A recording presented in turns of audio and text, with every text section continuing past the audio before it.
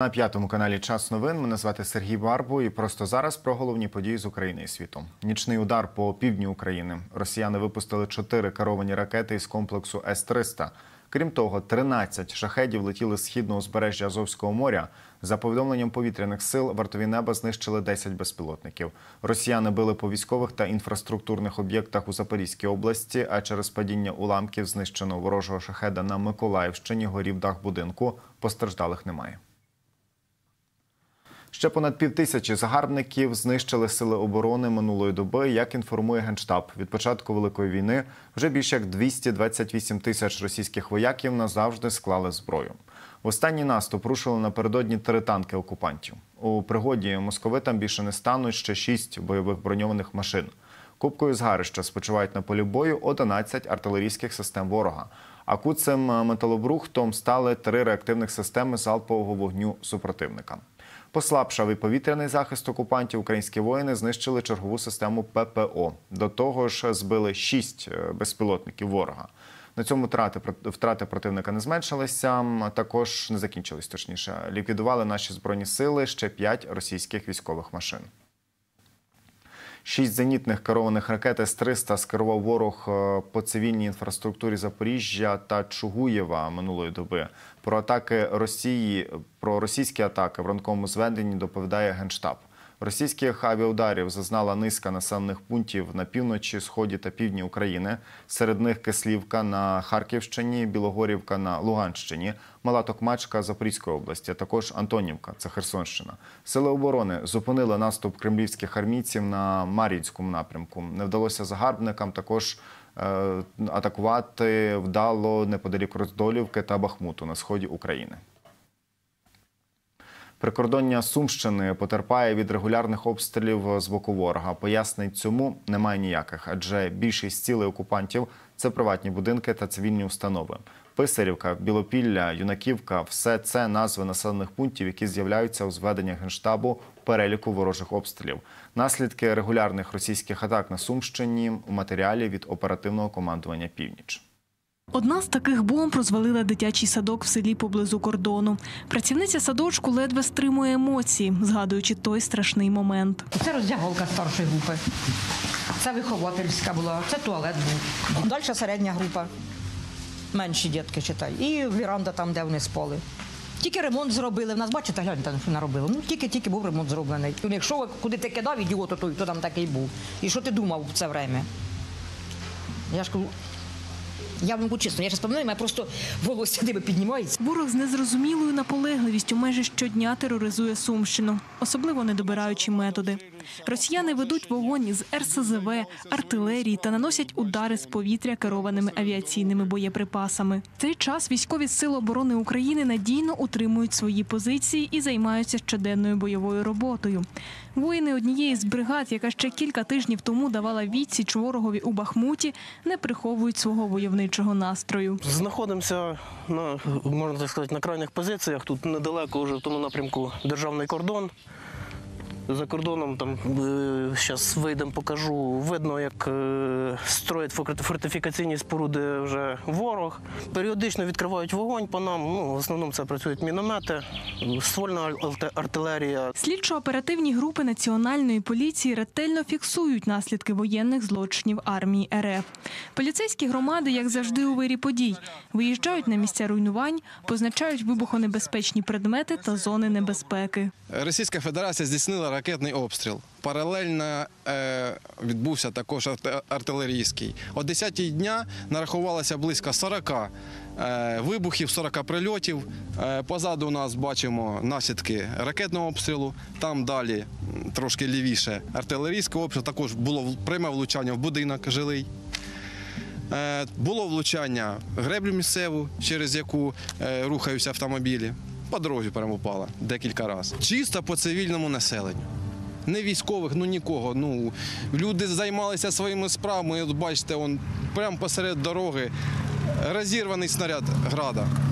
Одне з найважливіших завдань українських захисників упередити артилерійський терор ворога.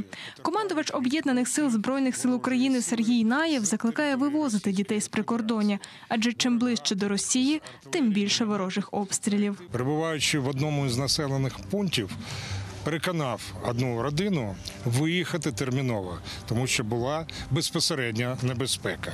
Я закликаю всіх громадян, які мешкають у прикордонних районах Сумщини, виїхати. Лише за сім кілометрів від московитів розташоване Білопілля.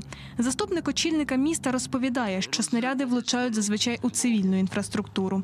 Місцеві насамперед від російського терору вивозять дітей, аби ті не відчували цих жахіть. Пошкоджені школи, ди- е, дитячий садок, п'ята школа, відділення пенсійного фонду, дитячі будинки, інтернати, де зроду ніколи не було ні військового, жодної, жодного військового в цих об'єктах не було. І на превеликий жаль страждають наші люди від цих нелюдів, які знаходяться у нас 7 кілометрів від нас. Вивезли всіх ми діток. Бояться, Вони плачуть. бояться. Ви що? Страшно. Це стрес страшний для них. Спочатку ще було нічого, зараз взагалі. Ви ж бачите, все місто виїхало. Українські оборонці стверджують, що у випадку повторного наступу готові дати відсіч ворогу. Мама, не переживай, я покушал в шапке. Все хорошо, комарики летают, задолбывают по жесткому, но ми з ними боремося. Пам'ятаєш тетю Галю з Курська? Так що вона не пройде. Границя під надіжною защитою. Заколот вагнерівців продемонстрував слабкість режиму Путіна. Тепер російські верхівки боротимуться за владу, аналізують події на Росії в українській розвідці і прогнозують незабаром можливі фізичні знищення конкуруючих між собою сторін. Водночас Кремль уже почав карати тих, хто на їхню думку міг бути причетним до заколоту Пригожина. Сам е, заколотник нібито відсиджується у Білорусі. Е, Залишається питанням, е, чи є майбутнє ПВК Вагнер і як дестабілізація на Росії вплине на фронт в Україні. Більше в сюжеті Лідії Середюк. Похід русських на Москву так і не завершився кульмінацією, але добряче налякав військову політичну верхівку, яка замість скоординованих дій демонструвала лише безпорадність наростити вплив чи ліквідувати Путіна, яку мету переслідував Пригожин і чи планував заколот самотужки. Планом у нього було захопити Шойгу Герасимова в Ростові потім шантажувати Кремль для того, щоб виторгувати я кажу, збереження розширення свого статусу, в тому числі політичного статусу. Проте я прихильний конспірологічної теорії тому, що е, багато впливових осіб е, в Росії, в Кремлі, в головному управлінні генштабу е, також мали свій план. І цей план це переформатування системи ухвалення політичних рішень Росії, це ослаблення одноосібного керівництва країною Володимиром Путіним. Адже заколот, що тривав менше доби, яскраво продемонстрував слабкість путінського режиму та боягузтво володаря Кремля, який у перші ж години походу вагнерівців дременув із Москви. Це суттєво похитнуло і так підмочений авторитет Путіна. Водночас 61% росіян, за даними соцопитування Інституту конфліктології та аналізу Росії, позитивно ставляться до заколотника Пригожина. Пригожин є більш цілісною фігурою, при тому, що він зрадив, е, так би мовити, заявлені цілі цього бунту. Але Пригожин виглядає більш цілісною, більш сильною фігурою, ніж Путін. І фактично це означає, що е, зараз Росія входить в стадію е, з'ясування стосунків. А ослаблення верхівки та міжособиці означають дестабілізацію країни загалом. І найближчим часом політична буря всередині Росії навряд ущухне. Далі, я думаю, будуть е, мають бути репресії, мають бути перестановки, тому що просто так залишити ну Путін це не може. А це ослаблення, це розбалансування, це ну фактично непевність в правлячих колах. Чистки серед генералітету уже розпочалися. До СІЗО кинули заступника начальника генштабу РФ Суровікіна, який, за даними Нью-Йорк Таймс, знав про плани Пригожина вчинити заколот. Офіційно про арешт Суровікіна на Росії не повідомляють. Інформацію поширила низка російських телеграм-каналів, які пов'язують із міністерством оборони. Кремлівські змі повідомили і про звільнення заступника Суровікіна, генерал-полковника Юдіна. Голови летять разом із ними у повітрі повисло питання. що очікує на ПВК Вагнер після невдалого походу на Москву. Не визначена взагалі зараз доля найманців, терористів, вагнерівців. А що буде з ними? Вони будуть брати участь в бойових діях на території України далі чи не будуть? На сьогодні 100% відповіді на це немає. Якщо не будуть, це теж вплив. Тому що це мінус е, та бойова одиниця, яку Росія використовувала як штурмові загони для цих так званих м'ясних штурмів. Ми знаємо. ПВК Вагнер нині не воює в Україні, повідомила заступниця міністра оборони України Ганна Маляр, зазначивши, що частина їх все одно залишається на окупованих територіях. А в українській розвідці зробили прогноз, що підлеглі Євгена Пригожина більше не воюватимуть проти нашої держави. Ми отримали компроментацію російського керівництва. Учергово зруйновано міф про непохитність російського режиму. Було завдано втрат військово-космічним силам РФ. А ще ПВК Вагнер більше не братиме участь у бойових діях на території України. А це найефективніший підрозділ РФ, який умів досягати успіху за будь-яку ціну. Утім, серед майбутніх сценаріїв діяльності Вагнера передислокація до Білорусі. Їхньою можливою появою там уже непокоїться країни Балтії. Хоча у НАТО заколот Пригожина вважають внутрішньою справою самої Росії. Заколот, який ми бачили на вихідних, показує, що у російській системі є тріщини та розбіжності. Водночас важливо наголосити, що це внутрішні справи Росії, і поки зарано робити остаточні висновки. Крім того, наразі не зрозуміло, скільки вагнерівців опиниться в Білорусі чи інших місцях. Що важливо для НАТО, то це те, що ми продовжуємо підтримувати Україну. Після спроб реформувати ПВК, змушуючи вагнерівців підписувати контракт із російським міноборони, Кремль має намір контролювати формування Пригожина за кордоном, кажуть в американському інституті вивчення війни. Йдеться про вагнерівців на близькому сході та в Африці. І тут важливо вже, щоб будь-які сценарії, які будуть розвиватися, ними скористатися для нас. Найважливіше ними скористатися так, щоб і припинити е, бойові дії, щоб перемогти в війні, щоб було відновлення територіальної цілісності, виведення російських військ, і одразу розгляд заявки на вступ НАТО. Ось це вікно можливостей для нас. Вікно, яким Україна має скористатися по максимуму з огляду на нестабільну ситуацію у Росії. І вагнерівський заколот – доказ, що нинішній режим країни-терористки близький до краху. Варто лише дотиснути. Лідія Середюк, Олексій Іванченко, п'ятий канал. Якомога ширша міжнародна підтримка української формули миру і майбутні безпекові зобов'язання щодо України. Про це мовиться у підсумковій заяві першого дня саміту ЄС. Дводенна зустріч на рівні глав держав та урядів відбувається у Брюсселі. Лідери держав заявили, що готові розглянути підходи до майбутніх зобов'язань у галузі безпеки України. Мовиться про підтримку не лише під час війни з Росією, а й після неї, аби Україна могла захистити себе у довгостроковій перспективі і запобігти спробам дестабілізації. Тим часом військову підтримку Україні надаватимуть стільки, скільки буде потрібно, без шкоди інтересам безпеки самих держав спільноти. Інструменти для такої підтримки це Європейський фонд миру і місія військової допомоги. Щодо української формули миру, то Європейська рада пообіцяла працювати на міжнародному рівні, аби цю формулу підтримувати якомога ширше і в країнах поза межами ЄС.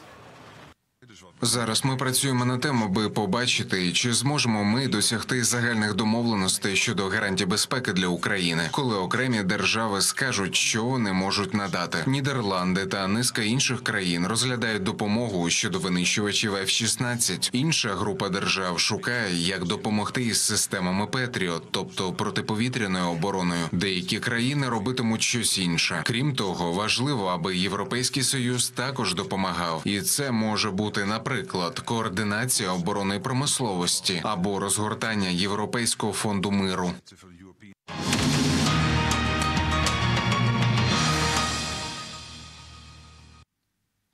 Шахрайство та вимагання 50 тисяч доларів. Офіс генерального прокурора оголосив підозру народному депутату від Європейської солідарності Сергію Алексєєву. Обшуки в домівці нардепа Державне бюро розслідувань служба безпеки розпочала о пів на першу ночі. У поліцилі вже звинуватили правоохоронців у тиску. На місці обшуків перебуває наша журналістка Софія Норенко, яка пильнувала від ранку за перебігом подій. Софія, то чи ще тривають слідчі дії? Сергію, слідчі дії ось саме біля домівки вже завершилися близько сьомої ранку. Ми побачили, як е, звідси вже виїздять правоохоронці. Намагалися одразу записати там з ними коментар, проте вони відмовилися. Але вже як бачимо, що з'явилися офіційні заяви, що і як це все відбувається. Загалом сам нардеп Сергій Алєксєєв та його адвокат е, зауважують на тому, що ось про цей обшук е, не попереджали, і взагалі, що зайшли, так би мовити, з чорного входу правоохоронці і розпочали ось всі ці свої слідчі дії, е, чим, е, скажімо так, і налякали жителів будинку. І вже якби і політична партія заявила, що це такий тиск, оскільки це неодноразово відбувається із членами партії. А що більше е, нам розповів як і Олексєєв, так і його адвокат. Давайте послухаємо. З води заїхали ДБР СБУ, почали проводити обшук.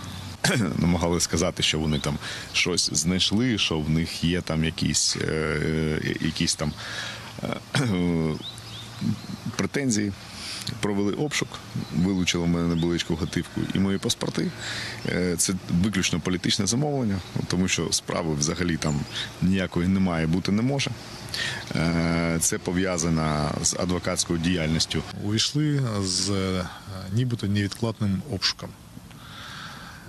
Коли задали питання хлопці, а що власне ви е, намагаєтесь досягнути цим невідкладним обшуком? По якій справі прийшли? По шахрайству.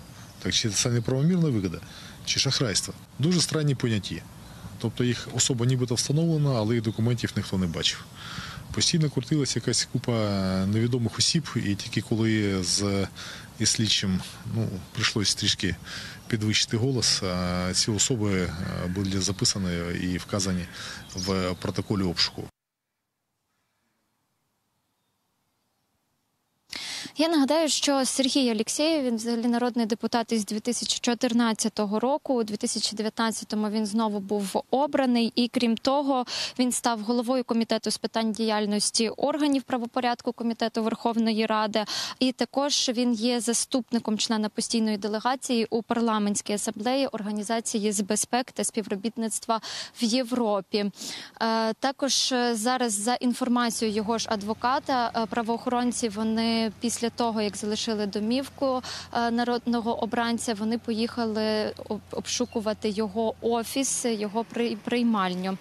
Е, З'явилася уже на момент е, включення і інформація на офіційних джерелах правоохоронних органів, зокрема офіс Генеральної прокуратури опублікував інформацію про те, що народний обранець він підозрюється у шахрайстві у великих розмірах. І давайте послухаємо більше інформації. За місцем проживання підозрюваного тривають невідкладні слідчі дії. За даними слідства, нардеп шляхом обману заволодів грошовими коштами громадянина Німеччини розміром 50 тисяч доларів США. Зафіксовано одержання 30 тисяч доларів США. Попередньо він отримав ще 20 тисяч доларів. Досудове розслідування ДБР, оперативний супровід СБУ. Тож, ось про цю інформацію відомо станом на зараз е, Сергію. Будемо пильнувати і передавати все е, в час новин. Передаю тобі слово. Дякую, Софія Норенко наживо була із нашою студією.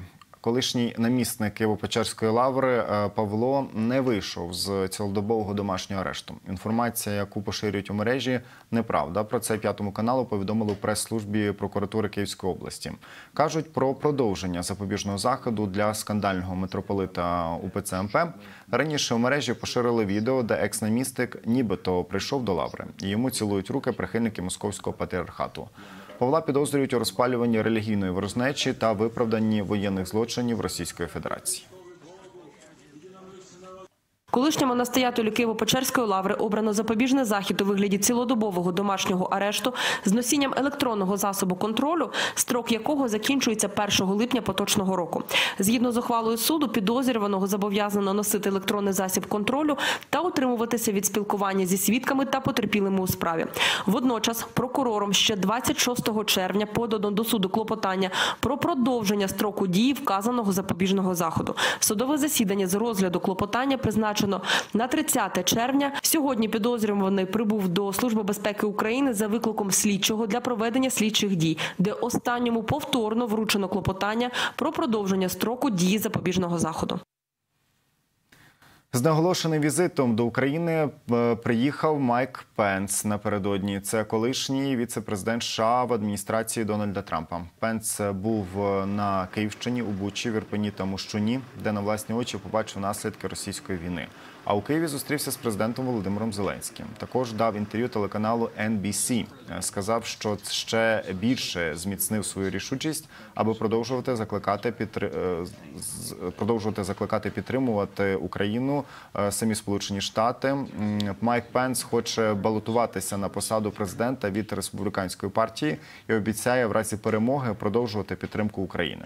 Адже на його думку, Америка має завжди обстоювати свободу. Володимир Зеленський подякував Майку Пенсу за його гучний голос на підтримку України у республіканській партії США, а також е, проінформував про ситуацію на полі бою і розповів про гуманітарну ситуацію на півдні після руйнування Каховської ГЕС.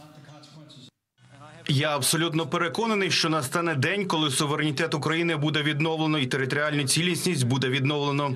Я вірю, що ми служитимемо не лише інтересам народу України, а й справді вірю, що це в національних інтересах Сполучених Штатів і всього вільного світу, аби українське військо перемогло. Ми маємо переконатися, що надаємо українським військовим те, що їм потрібно, аби дати відсіч і здолати російську агресію. Це дасть зрозуміти Росії, Китаю та будь-яким іншим націям, які намагатимуться змінити міжнародні кордони силою, що вільний світ це не підтримує. Вільний світ разом виступатиме за свободу. До України приїхала шведська активістка Грета Тунберг. Разом із кількома політиками вона взяла участь у засіданні міжнародної робочої групи щодо екологічних наслідків війни. Очолюють цю групу голова офісу президента Андрій Єрмак, також віце-президентка Європарламенту, колишня глава та віце-прем'єрка Швеції е, та екс-президентка Ірландії. Тунберг зустрілася з президентом Зеленським. Одна з важливих тем розмови наслідки для екології теракту на Каховський ГЕС. Вона зазначила, що залучатиме до розмови про екологічні наслідки війни представників різних зелених громадських організацій. Тунберг одна з найвідоміших екоактивісток світу. У 2019-му вона стала людиною року за версією журналу Time. Відомою стала завдяки акціям протесту п'ятниці заради майбутнього. Задля активістської діяльності Грета покинула школу. Страйк переріс у міжнародний кліматичний рух, до якого долучилися сотні тисяч людей у всьому світі. Що робити у разі теракту на Запорізькій атомній станції? Ал- Алгоритм дій відпрацювали сили цивільного захисту, практикували евакуацію населення, антирадіаційну обробку машин та надання допомоги постраждалим. За перебігом навчань спостерігав Денис Розенков. За легендою навчань, російські терористи влаштували теракт на Запорізькій атомній електростанції, що призвело до руйнування одного з реакторів та витоку радіації.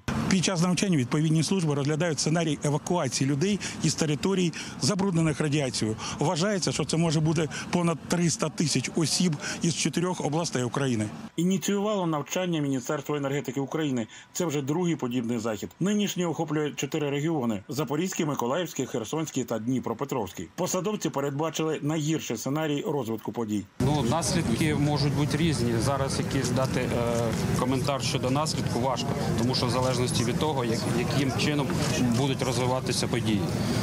Ми е, готувалися до тяжких наслідків. Будемо дивитися по тому, яка буде роза вітрів і як буде е, розповсюджуватися радіація. Перший етап навчання оповіщення. Усі жителі Запоріжжя та області зранку отримали повідомлення про тренування, а також покроковий алгоритм дій, що робити у разі виникнення надзвичайної ситуації на АЕС. Саме найголовніше це сповіщення, сповіщення людей.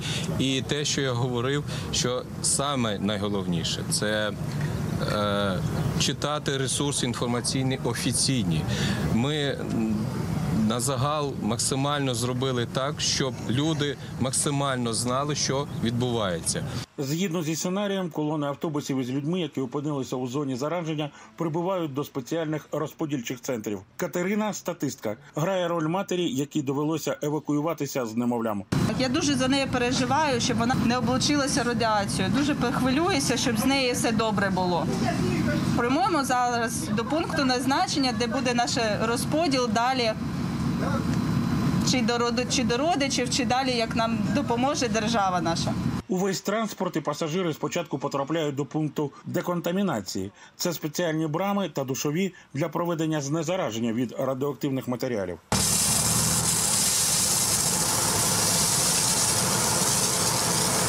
Тут люди проходять обробку після цього. Їх повністю миють і дають новий чистий одяг, який знаходиться ось. Особлива увага маломобільним людям, пораненим або тим, хто потребує допомоги. Дай Бог, щоб цього не сталося, але готові до, повинні бути до всього, звичайно.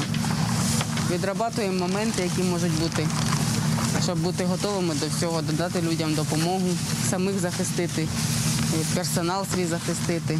До навчань залучили понад тисячу осіб. Це представники служби з надзвичайних ситуацій, охорони здоров'я, енергоатому, комунальники та правоохоронці. Е, Наша роль евакуації – забезпечення громадського порядку, недопущення мародерства та крадіжок. На що звичайно поліція реагує? За інформацією Запорізької обласної військової адміністрації, під час навчань можливість евакуації людей із тимчасово окупованих територій не розглядали. Наразі для них є лише рекомендації. Зокрема, якщо станеться надзвичайна ситуація на АЕС, намагатися дістатися Бордянська або узбережжя Азова, звідки їх можуть евакуювати представники міжнародного Червоного Хреста. Денис Розенков, Дмитро Дубіна, Запоріжжя, п'ятий канал.